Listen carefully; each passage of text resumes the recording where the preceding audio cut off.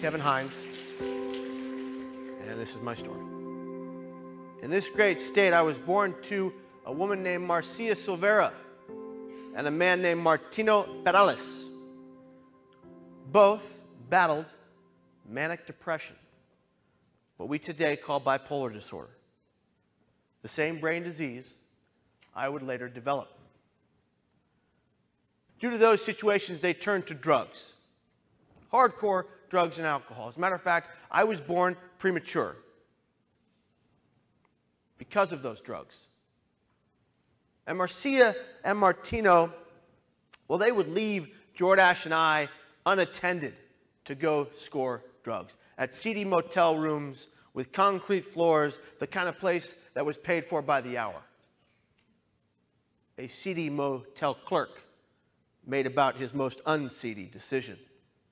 He heard us scream and cry one too many times for his liking, and he called the police. So those police officers, those two police officers, they barreled down the door and they took us into protective custody. And they brought us to the foster care system. One day, my fate changed. You see, the reason my name is no longer Giovanni Gabriel Prasad Ferales, and it is now John Kevin Hines, because of two beautiful human beings, Patrick Hines and Deborah Hines. And on March 17th, 1986, they adopted me and made me their son. They changed my name but they made me their son. My ground was solid. My feet were rooted in. And then, like a Mack truck barreling down the road at 75 miles an hour, it hit me. The first symptom extreme paranoia. Where the hell did that come from? Extreme paranoia. And after the paranoid delusions would come the manic behavior. Mania. The high of bipolar disorder. Mania, depression. Well, I had bipolar disorder type 1 with psychotic features. A very severe form, actually. So 1998, diagnosed with bipolar disorder. 1999, 2000, pretending to be going to treatment. Oh, I was going to see the doctor. I lied to him too. I'd go home, and my mom and dad, oh, yeah, I talked to the doctor. He recommended these, these, this routine with living with mental illness. I got it covered, Dad. I'm on it. I'm on it, you know. My mom and dad had been divorced. They had no clue the depth of what I was going through because I hid it from them because I was in denial. I don't have a mental illness. I played football, for God's sake. I was a champion wrestler. September 24th of the year 2000. Trying to figure out what was going on in my brain, I, I, I looked online for ways to end my life. And I found them. And they told me live in San Francisco, go to the Golden Gate Bridge, jump off, you will die upon impact. Good luck! Exclamation point. With the click of a few buttons. I got on the next bus. I sat in the very last seat in the middle row we began to drive out to the Golden Gate Bridge. And that's when it hit me the ambivalence. I realized I didn't want to die at all. I realized that I thought, I said, well, What are you doing, Kevin? Get off the bus. But then, because of my illness and because of my brain's misaligned chemicals, I began to hear the voices but these voices were loud and clear. And on that bus, they were screaming in my head, You must die. You must die. Jump now. And so I'm sitting there and I'm crying my eyes out, hoping for one individual on this bus crowded with people to look at me and say, Hey, kid, are you okay? Hey, kid, is something wrong? Can I help you? To reach out, to touch me, to, to see my pain. Everyone was in their own little world. Now, it's not their responsibility to take care of me. It's not their personal interest to see if I'm okay. But I say to you now, the next time you see someone in obvious emotional distress, suffering, and pain, and you don't know them from Adam, I beg of you to walk up to that person, look them in the eyes, do not turn away and say something to the effect of, Are you okay? Is something wrong? Or can I help you? You could quite literally save a life in that moment. I, I was walking up to the bus driver hoping that he would see my pain.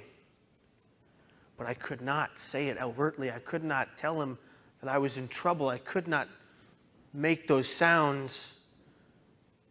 And he looked at me, and in typical San Francisco Muni fashion, he said, Come on, kid, get off the bus. I got to go. It's his job. He's got to go to the rest of his route. I understood that. I was sad. A wave of emotion overcame me as I stepped down off of this bus. My feet heavy, my heart palpitating, waterfalls flowing out of my eyes, my eyes red. I walked forward. I thought, that's it. Nobody cares. Nobody cares. Come on. Everybody cared. Every one of my family members cared. Every single member of my friends cared. People I barely knew that were acquaintances would have cared. My brain wasn't allowing me to care. That irrational thought when dealing with someone who is contemplating suicide. I didn't want to die. I believed I had to.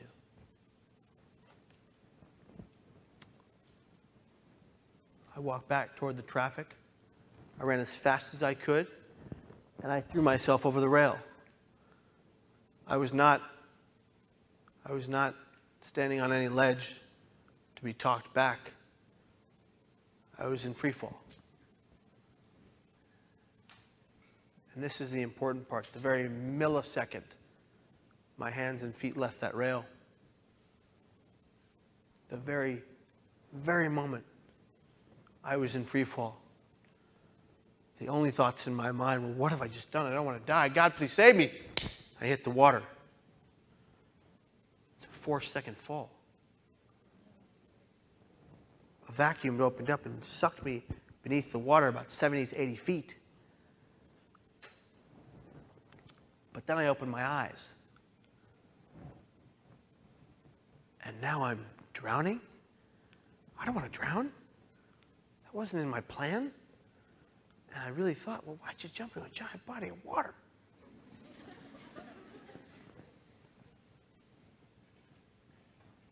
I frantically moved in any direction. My legs were completely immobile. I had shattered my T12, L1, and L2 lower vertebrae into shards like glass. They splintered all throughout my lower body. My legs immobile only using my arms. I was going down. My ears were ringing. My eyes were bulging out of my head. I realized I was going down. I shot for what I thought was the surface. As fast as my arms would take me, and I saw the lit water above me, I could see my destination. And I thought, You're not going to make it. You're not going to make it. You're going to drown. I don't want to drown. God, please save me. I don't want to drown. God, please save me. I don't want to drown. I made a mistake, the greatest mistake of my life. I broke the surface, barely made it. I bobbed up and down in the water. I swallowed some salt water and I prayed, God, please save me. I don't want to drown. I made a mistake. over and over and over again. The voices were gone. The deep, dark depression that brought me to that day had disappeared. The only thing I wanted to do, needed to do, had to do was survive.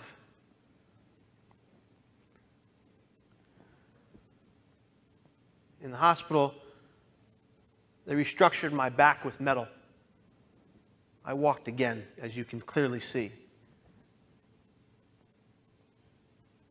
In the hospital, I had to go from that point to a psychiatric unit. I went from sitting up hours of a day, then into a wheelchair, then to being able to move that wheelchair myself, then being using a walker, and then a cane and a back brace in a matter of weeks. Those doctors saved me. They saved my future. And I have learned today, I have learned very clearly that suicide is never nor should ever be the answer.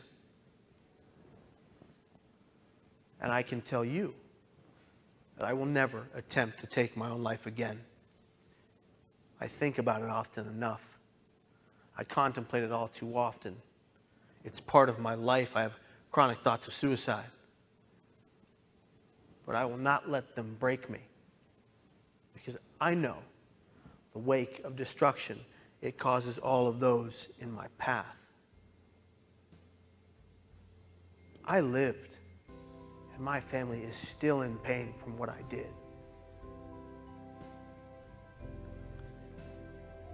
This life, no matter how you live it, no matter what you've gone through, no matter what pains you or ails you, is the single most powerful and amazing gift we have ever been given or will ever be given.